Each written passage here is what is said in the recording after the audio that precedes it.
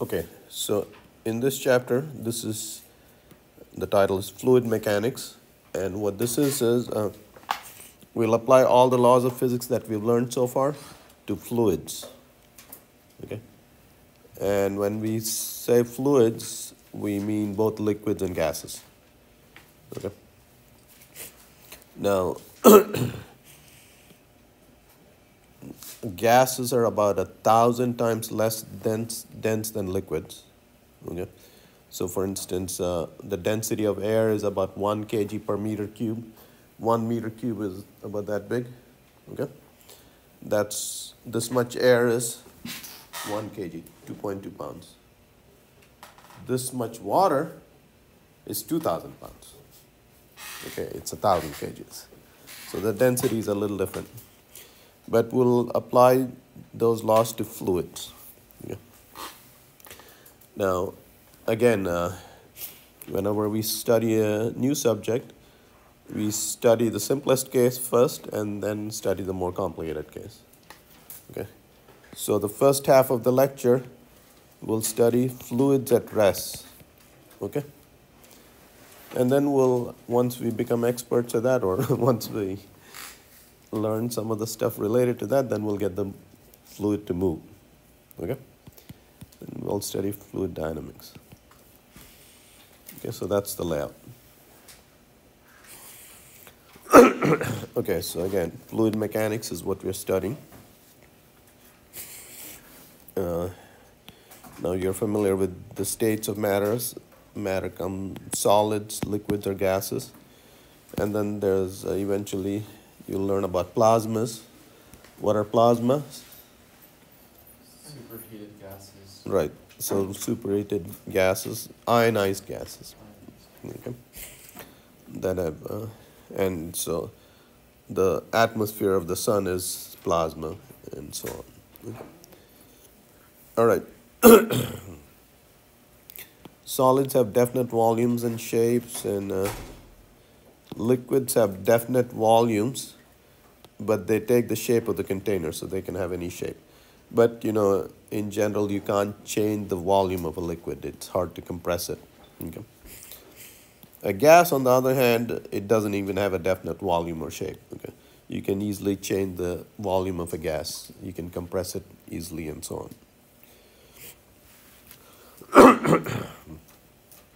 so in a solid, the atoms are held in place Okay, so for instance, here this atom is right there. You can come back 10 years later and it'll still be there. Yeah. In a liquid, the atoms are constantly moving around. Okay, let's say this atom is over there. You come two seconds later, you don't know where it is. Yeah. And so also in gases. Okay. So atoms in solid are held in place by forces which are modeled by springs here, okay? This atom doesn't move, go anywhere because all these guys are holding him in place. Okay. In liquids also, they're in co close contact, but they can slide over each other. So forces between atoms strongly resist attempts to compress the atoms. So it's uh, very hard to compress a fluid, a liquid, because, because of the interatomic forces. Atoms in a gas move about freely and se are separated by large distances. I'll give you a sense for these distances in a second. so we'll study fluids at rest first, and then in the second half of this chapter, we'll study fluids in motion. So for instance, here is water behind a dam and this fluid is at rest. Okay? And we'll study the property of this water, for instance. and what this is showing you is an airfoil in a wind tunnel, for instance, and the air is moving. But this is also relevant to the following. Okay. so you can have a plane so I'll just draw airfoil. Yep. You can have this plane moving in still air at 250 miles an hour or you can have this airfoil at rest and the wind blowing at 250 miles an hour in a wind tunnel. The behavior will be the same. Okay, it's relative motion that matters. All right, so so you can either think of this as a airfoil at rest and the wind moving, or the airfoil moving in a uh, still air. Okay, so we'll study that.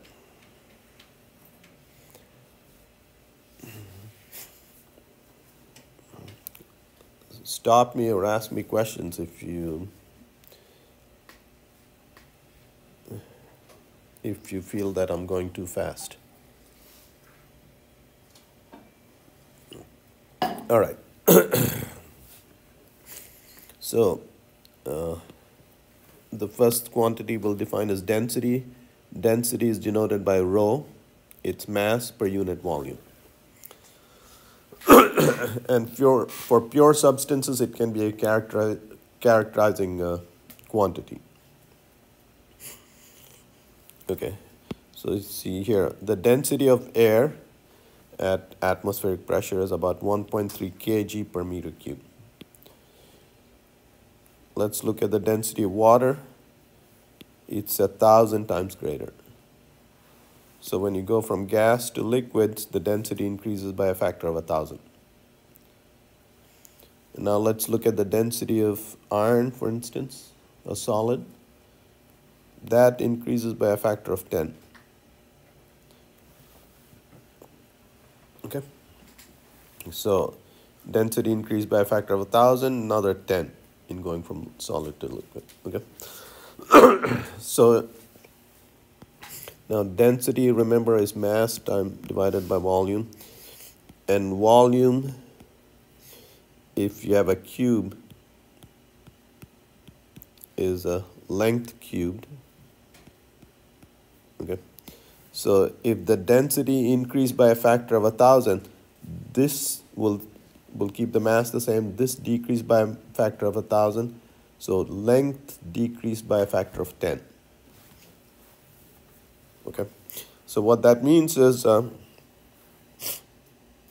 so let's say um, okay. So if if this is how big an atom is and this is a solid. Okay.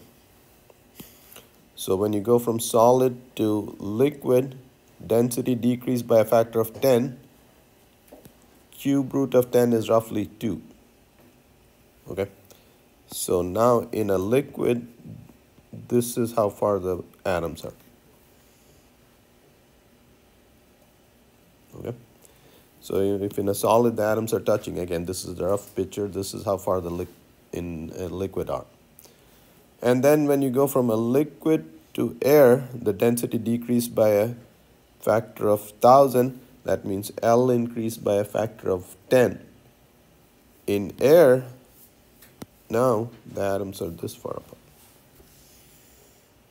Okay, so that's that gives you a sense for how far the atoms are.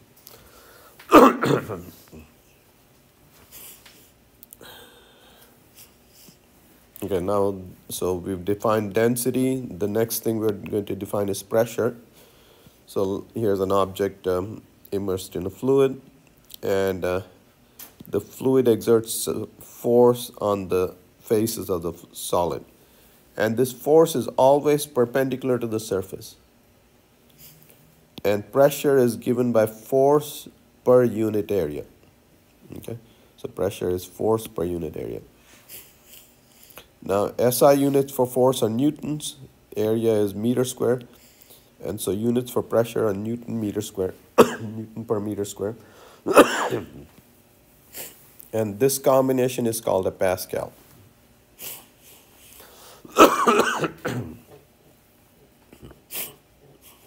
now the pressure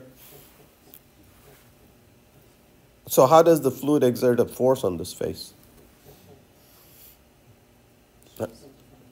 How's the fluid exerting a force on this face?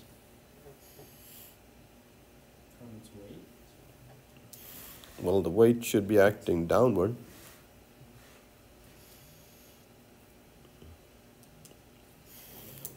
What's that?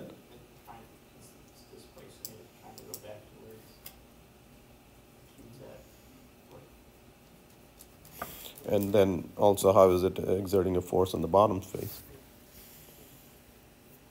All right, so there's two ways to think of pressure, okay? okay, before I do that, oops. So let me give you, so here's one atmospheric pressure. One atmosphere is 10 to the power of 5 pascals. Okay, so one atmosphere is 10 to the power 5 pascals. Okay, let's do this 10 to the power 5 newtons per meter square. Okay, and uh, all right, so we'll write this in more familiar units psi, 15 psi. What does this 15 psi mean? What does PSI mean? Pounds per square inch. So what that means is, so here's roughly a square inch.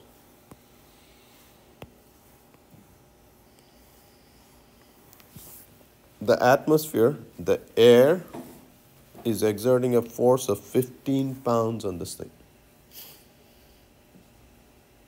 15 pounds. Okay. So to make it a little more uh, concrete, you can take this this entire sheet. This sheet is 10 inches by 10 inches.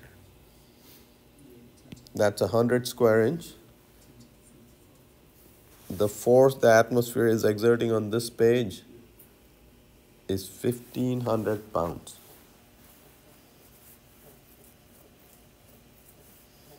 Okay, can I have a sheet of paper?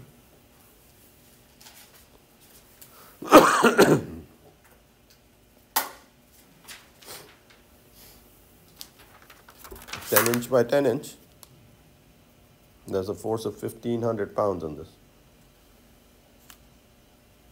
So why isn't this flying off?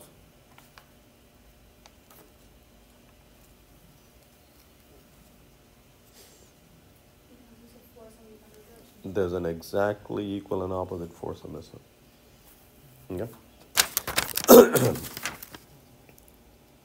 this thing, 10 to the power 5 Newton per meter square. This is, uh, so we'll write it uh, in terms of mg. Okay. So m is, uh, m would be 10,000 kgs times g is 9.8 meters per second square. Okay, so 10,000 times 10 is 100,000 per meter square.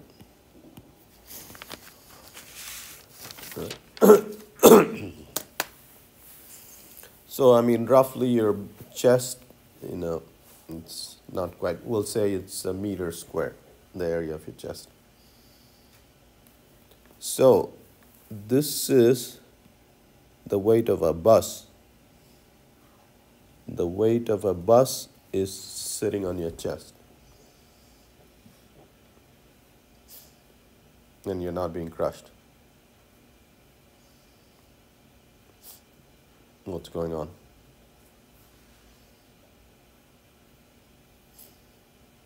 It's being applied equally and oppositely across all of your body. Yeah, but uh,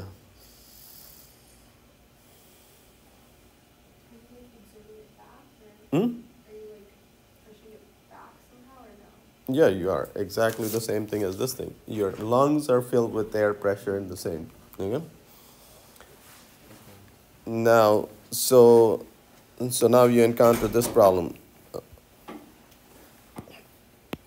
So this is one atmosphere, and we'll see in a second. So this is H2O, and you go 10 meters down which is 33 feet. And now you are at two atmospheres. So now two school buses are crashing you. What do you do?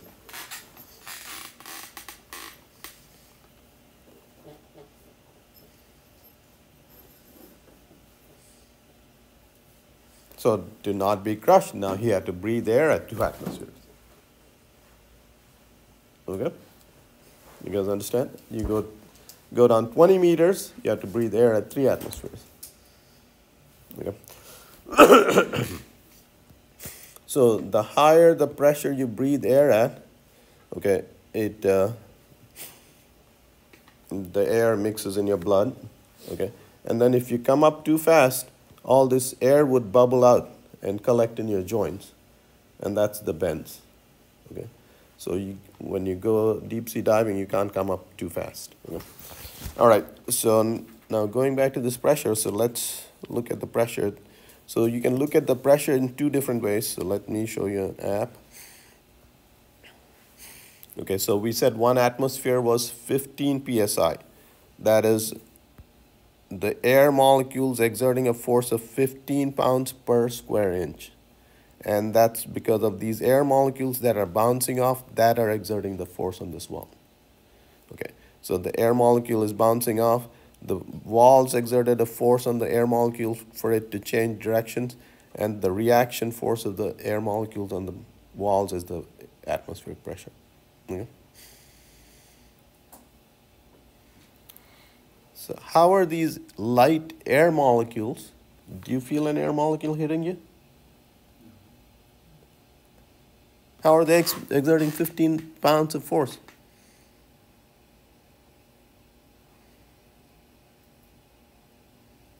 There's billions and billions of them colliding every second. Okay? Little grains of sand and little drops of water make the mighty ocean and the vast beaches, okay? All right, so you want to think of pressure so it's, sometimes it's useful to, I mean, in some situations you want to remember pressure is exerted like that. And you can think of pressure also, okay, so one atmospheric pressure is the weight, so one atmosphere is 10 to the power 5 Newton per meter square. That's that much weight sitting on one meter square. So if this is one meter square, one meter square is the size of this table. So if you take this air column all the way to space, this air column weighs that much. This air column all the way to space weighs one school bus. Okay? Okay, so if you're, if this were uniform density, if you went up halfway, what would be the pressure? A half of an atmosphere. But you will learn later in this chapter that it decays exponentially. So the atmosphere is, you know, limits of the atmosphere is defined at about 10 kilometers. But if you go five miles up, uh, you're already crossed 65% of the atmosphere. Okay. All right. um, by the way, so again, going back to this example, how much force is the atmosphere exerting on this thing? This page of sheet of paper? 1500 pounds. 10 inches by 10 inches, 100 square inch, 15 times 100 is 1500 pounds. It's not newtons, it's, it's pounds. Yeah. How do you derive pounds again? Oh, one kg, one kg, which is a unit of mass, is roughly 2.2 pounds. This is a unit of force. This is the.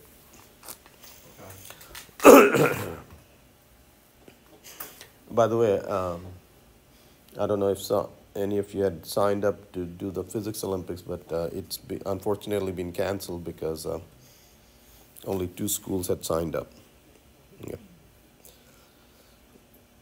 All right, so uh, here's uh, something to illustrate this atmospheric pressure. It's enormous. What this is is a, well, this is a crushed oil tanker. Here's what happened. Uh, so when they transport oil after it's emptied, they, they have to clean the tanker. And how do they clean it?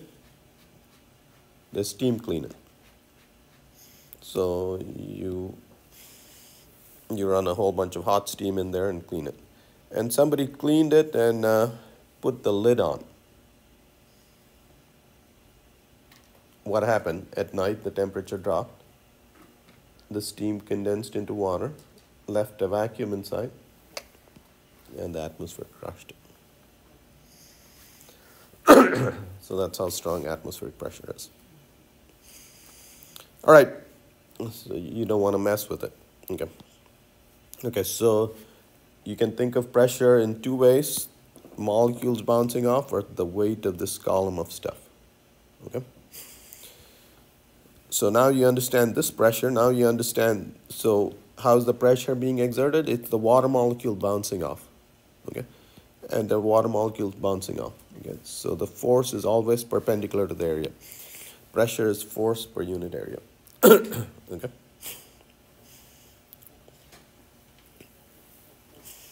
All right. Now, if so, if you're there, what is the pressure there?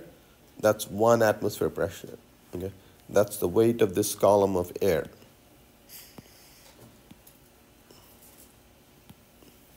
Okay, at that point, it's one atmospheric pressure. So now if you go deeper in the liquid, now what is the pressure here? The pressure here is the weight of this column of water, air plus this column of liquid.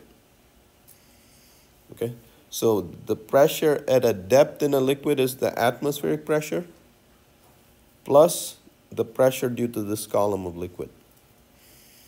And like I just we just shared, if this was water, if you go to a depth of 10 meters, this term becomes equal to that term. So you get another atmosphere. So for every 10 meters, you get one more atmosphere. Okay. All right, so so and then another way of, like I said, thinking about it is it's the water molecules bouncing off there, applying the pressure, okay, applying the force on, on any surface.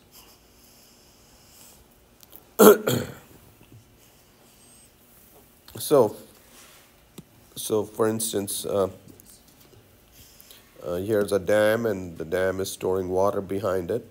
And you just learned that as you go deeper in water, the pressure increases. Okay the force on this area of the wall, so we'll take this area, the force is pressure times area. So if you keep equal areas, this is equal, but if the pressure increases, the force is increasing. And so you have to make the walls thicker as you go deeper in the dam because this is having to bear greater forces. Okay, so this is how dam walls are built. okay.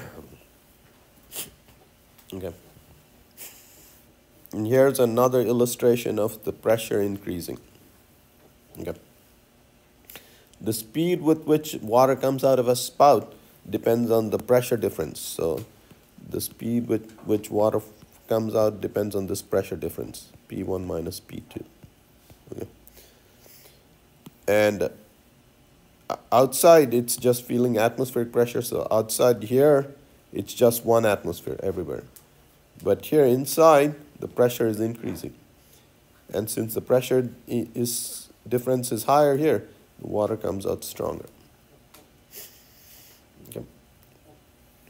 in fact if the fluid is frictionless if it had zero viscosity here's a very interesting fact the speed at which it comes out will equal the speed at which if you dropped a rock from this height and it fell that, that distance, the rock would be going at the same speed. That's if the viscosity were zero. Okay. Did you guys understand that? Okay. So what, what we are saying is if you drop a rock, that distance, the speed of this rock and the speed of this water is the same. Okay.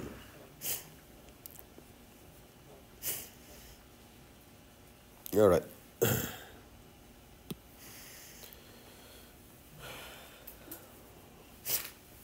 So we'll define these two terms, absolute and gauge pressure.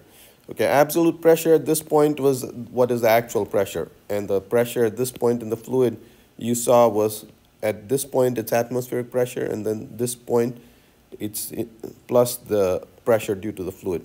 So the pressure at this point is P naught, the atmospheric pressure plus rho GH. Again, rho is the density of the fluid, G is the acceleration due to gravity, and H is this height. All right, now we define something called a gauge pressure because if you go by a gauge to measure pressure at a store, what that actually measures is it doesn't measure P, but it measures P minus P naught. Okay? So it measures the actual pressure minus the atmospheric pressure. And so that's why we define a gauge pressure. Okay? So that's what most gauges do. So what is the pressure in your car tires? 32 psi. 32 psi so that's what the gauge measures so the actual pressure is 32 plus 15 okay 47 psi okay so the absolute pressure in your car tires at about three atmospheres.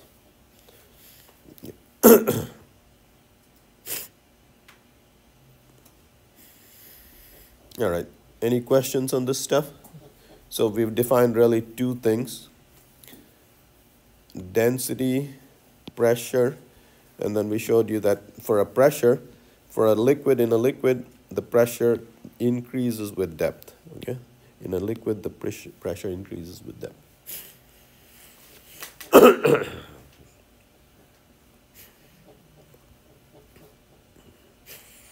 okay. Now, so for various reasons, we want to know atmospheric pressure. It turns out that if that atmospheric pressure changes by 2 3%, then you want to get out of town. Okay, You're getting bad weather. right, so we of course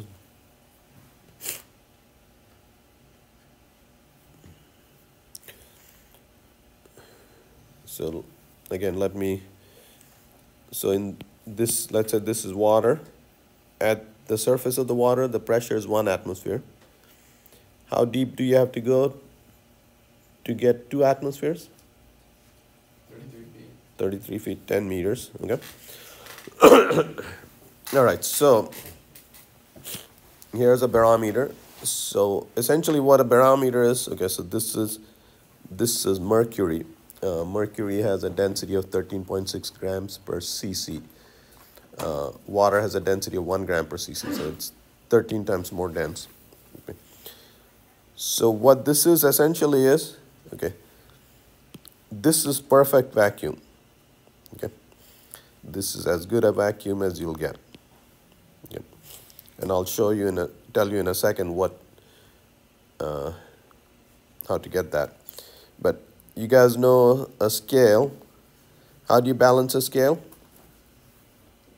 if you have 100 grams here you have to put 100 grams there to balance it okay so what a barometer is doing is this column of mercury that's the weight of this column of mercury, is balancing a column of air all the way to space of equal area of cross section. Okay, that's essentially what a barometer is doing. Did you guys understand that? Okay.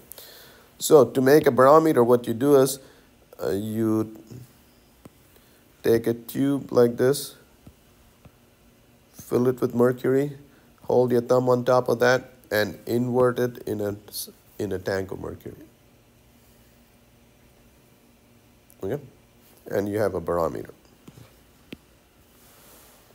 And what it turns out, because of the density of mercury, this column of air is balanced by a mercury column of 76 centimeters. Okay? And so this 0.76 meter of uh, meter of Hg mercury is one atmosphere.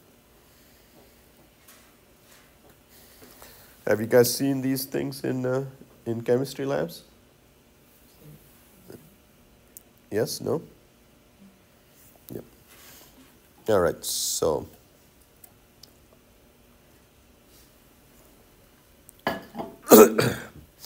If you made a barometer with water, what would be the height of the water column?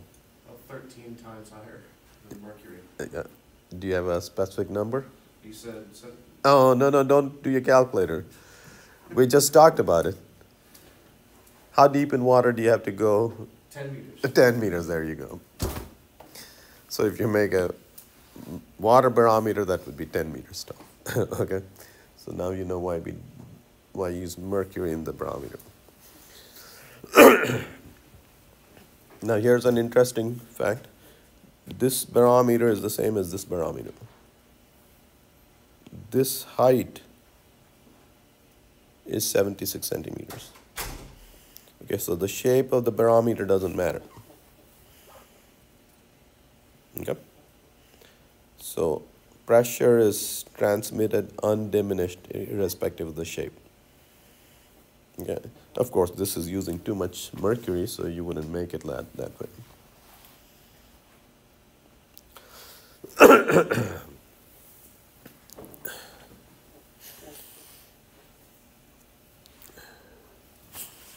All right, so here's an interesting thing.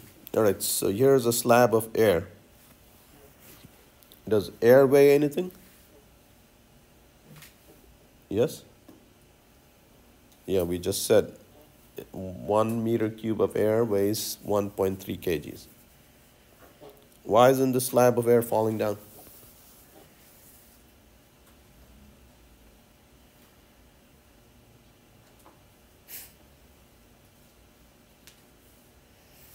I hold a piece of paper up. This thing fell down. Oh,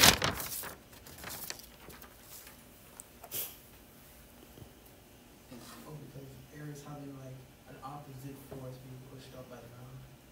I'm sorry? Carries having force being like pushed up from the ground. Is it because the air below it's more dense? There you go. So, if this is not falling down, its weight is being balanced by some kind of upward force. Okay? Okay. What is the force on the bottom portion? That's pressure times area. And at the top, if the pressure was the same, then the force would be the same and you wouldn't have a balancing force. So what since this slab of air is not falling down, now you know that the pressure at the top must be less than the pressure at the bottom. okay, so this change in pressure is negative. Okay. All right, and in chemistry classes, you've learned that uh, PV equal to nRT. Okay, this is the ideal gas law. P equal to N over V RT. Okay, so since pressure decreases with height, we'll assume that the temperature is not changing. That means the density, number density of air decreases with height. Okay, so we'll do a simple model where the temperature is constant. That is not true, but you know, as a first approximation, we'll assume that. if you had a constant air temperature, what you learn is the density of air decreases exponentially. Okay? So this is the force at the bottom, this is the force at the top, this minus this must equal the weight of this slab of air. Okay, and if you work that through, okay, so here's the ideal gas law under the, and we'll assume that temperature is constant, okay?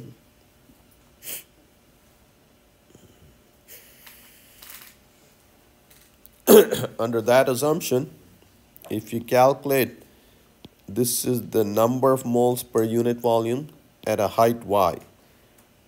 And what it turns out is this decreases exponentially. Okay, this is the number density at ground level. Okay. And e to the power of minus mgy divided by kt. Okay, that's an interesting number. mgy is the potential energy of a air molecule at height y. Okay. And kT, K is the Boltzmann's constant and T is the temperature of the atmosphere. Okay. And uh, you can put in those numbers. Air is uh, 70%, uh, 78% nitrogen and 21% oxygen. And so you can put the weighted average of that for there and put in those numbers. And so what this number is saying is, see, that's 8.8 kilometers. If you go up 8.8 kilometers, if y equal to that, e to the power of minus 1 is, e to the power of minus 1 is 0.35. 35. So if you get 8 kilometers up, the density of air is 35% the density of ground level.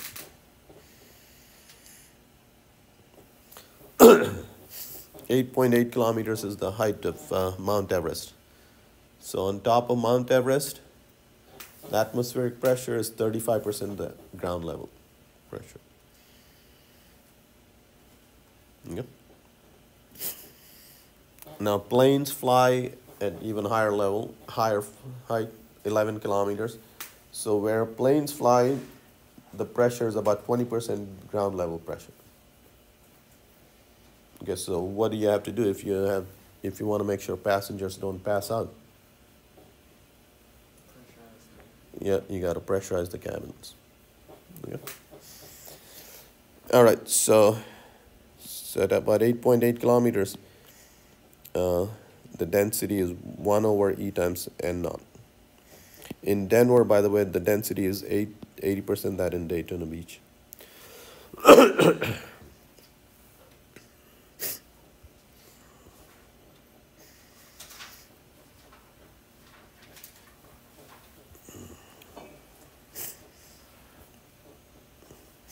All right, so what we have learned is if we assume a constant temperature, we find that the density of air and the pressure decreases exponentially.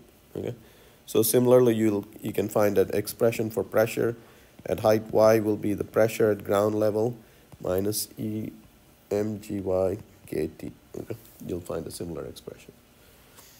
The pressure will also because you see the pressure depends on the number density if this is constant and if this decreases exponentially that will decrease exponentially.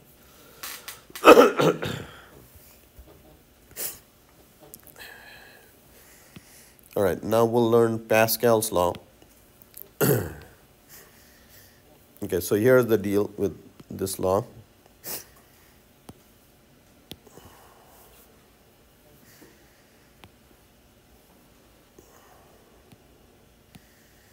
So let's say we have a tank like this. And this tank is open to the air. What is the pressure at this point? One atmosphere. One atmosphere.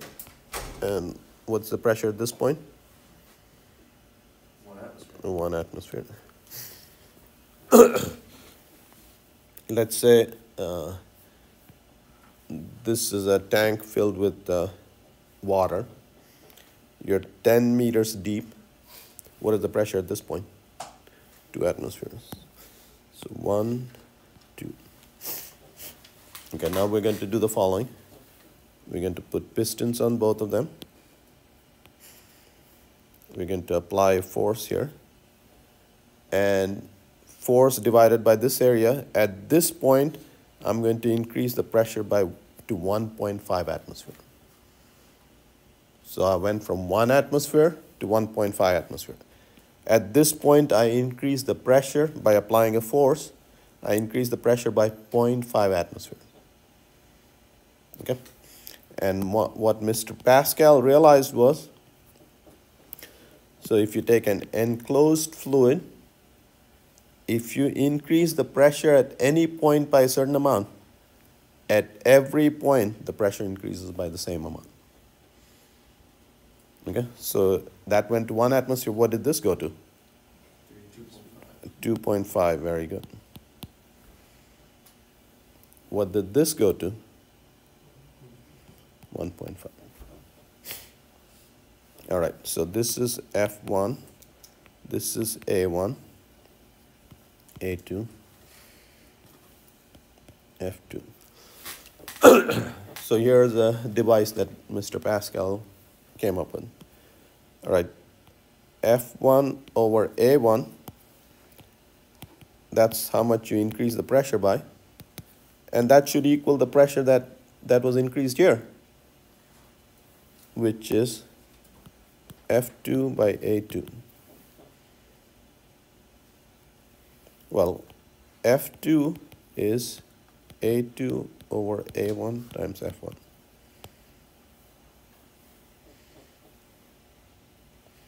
All right, let's look at this. This is magic. Okay. Let's say we make this area A2 a hundred times greater than area A1. A2 is a hundred times greater than A1.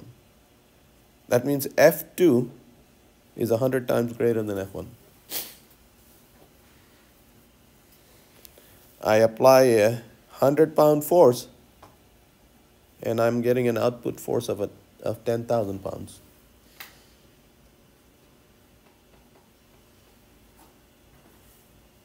Free lunch sounds like. What gives? It'll move less. And very good. Okay. So what matters is work in will equal work out. Okay. It, this takes energy to do work, and whatever energy you put in is what you get out. Okay.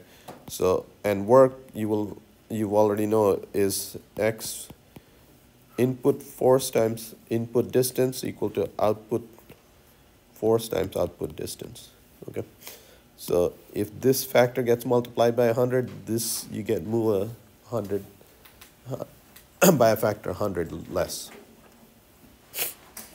okay so but what is Pascal's principle state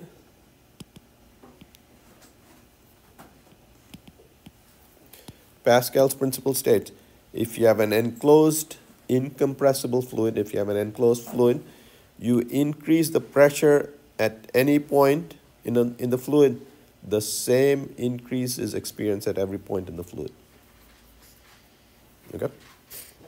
So, Pascal discovered that a change in pressure applied to an enclosed incompressible fluid is transmitted undiminished to every other point in the fluid.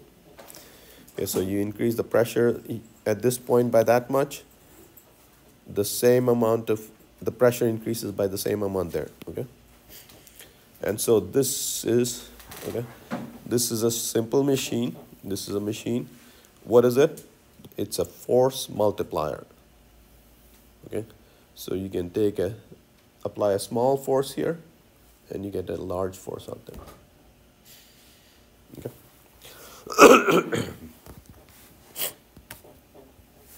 and uh, like we said okay so if uh, if a2 is 100 times greater than that the output force was 100 times greater than the input force but the price you pay is the output distance is 100th times the input distance so again there's no free lunches mm-hmm.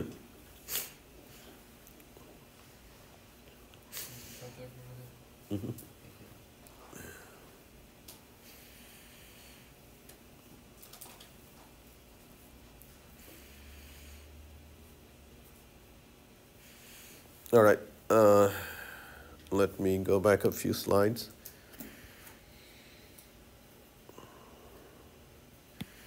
Okay, so what is this formula telling you? What is this guy telling you? Okay, this is atmospheric pressure. And as you go deeper into a fluid, the pressure is increasing. Okay. All right, so let's uh,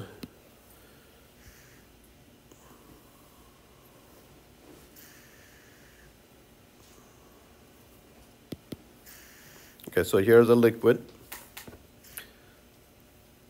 Let's just imagine an air bubble or whatever. Okay, so you're this deep in the fluid and there's a certain amount of pressure. If you go deeper, the pressure is higher. Okay, so any volume, because the pressure is increasing, there's pressure, higher pressure at the bottom, this will feel a net upward force. That's why air bubbles rise in, in, in a liquid. Okay?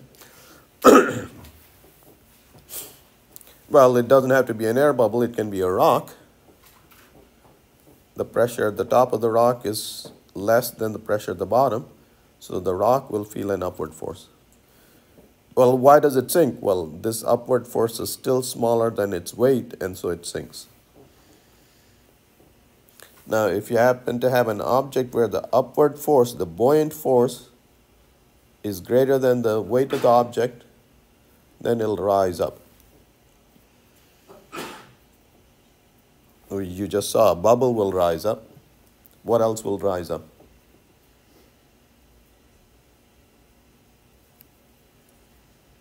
More of the water, I'm sorry? more of the water. Uh, this water is in equilibrium. What else would rise up? Hmm? Foam, a piece of wood, foam. So, in all those objects, this buoyant force is greater than the weight of the object. Okay. So, Mr. Archimedes figured out what will rise up and so on. Okay. It turns out that if the density of the material is less than the density of the fluid, then this force will be greater than that force. Okay, so that's the crucial thing. So the density of the material has to be less than the density of the fluid. Okay. and Mr. Archimedes gave us, told us how, what exactly this force will be. The buoyant force. Okay. So uh, Mr. Archimedes gave us, and what he said was, the buoyant force, this force, is equal to the weight of the fluid displaced by the object. So you, you immerse this object, it's displaced that much fluid, the weight of this fluid is equal to that force. Okay? so the buoyant force, so I'll change that. The buoyant force is equal to the weight of the displaced fluid. That's the density of the fluid, and this is the volume displaced times g.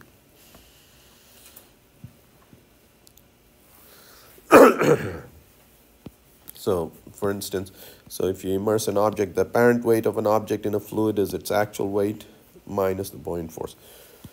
So what this is saying is, if you place a scale on, on the bottom and place this object, the weight of this object would be its actual weight, actual weight in air, okay? So there's the actual weight, minus the buoyant force. it turns out that our our density is roughly equal to the density of water. So if you pay, if you want to lose weight, what you do is you put a scale at the bottom of your spool and stand on that scale, and it'll read zero. so,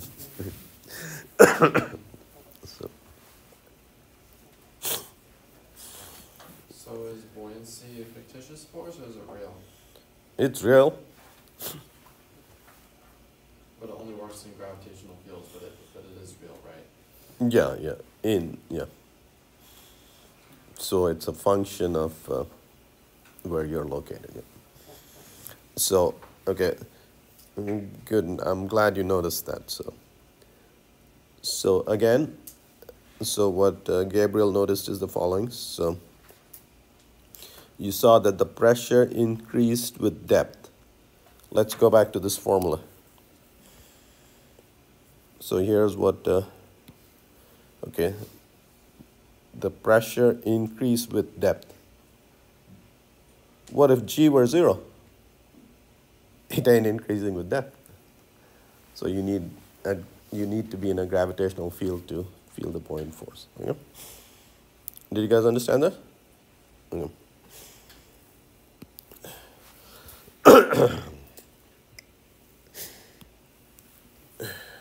All right, again, uh, Mr. Archimedes told us exactly how much this buoyant force is.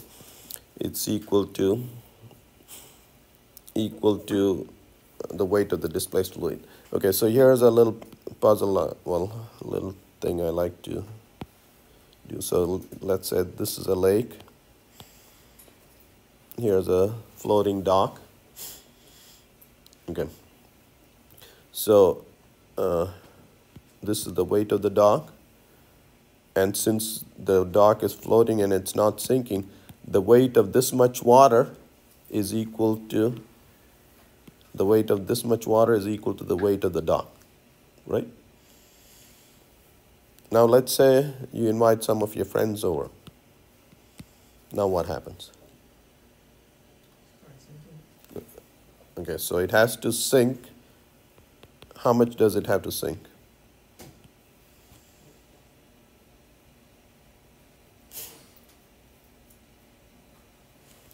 This weight has to equal the weight of these three people.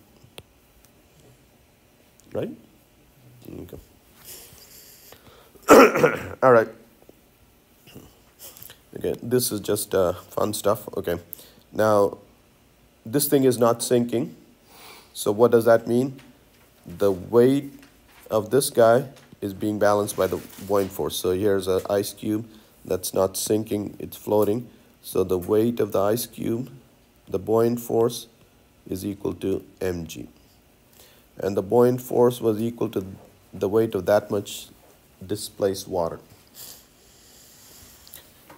All right, so whenever something is floating, that means the density of the object is less than the density of the fluid. All right, and the ratio of the densities, the density of the object divided by the density of the fluid, is equal to the volume displaced divided by the total volume. Okay. So that's the dense relationship. So if the density of the object was 60% that of the fluid, uh, 60% of the object uh, would be underwater. Okay. okay. So for instance, an iceberg, the density of an iceberg is about 89%, so 89% of the iceberg is underwater. Okay. And that's why the Titanic thing is very, you know, every ship captain knows that 90% of the iceberg is underwater. And it can be any darn shape, you know, and it's sacrilegious for you to run into into an iceberg, no matter how drunk you are.